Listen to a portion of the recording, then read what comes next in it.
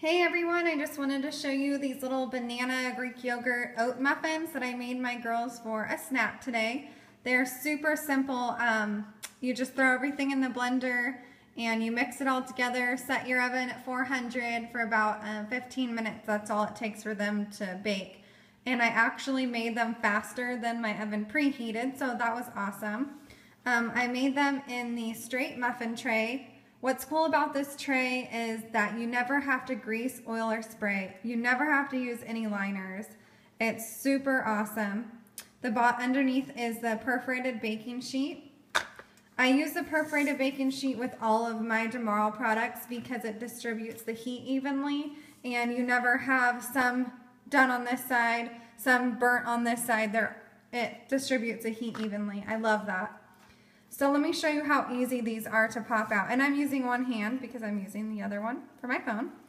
But um, you just simply pop them out. There's no mess. Never have to grease, oil, or spray. And you have these perfect four ounce serving muffins. How cool is that?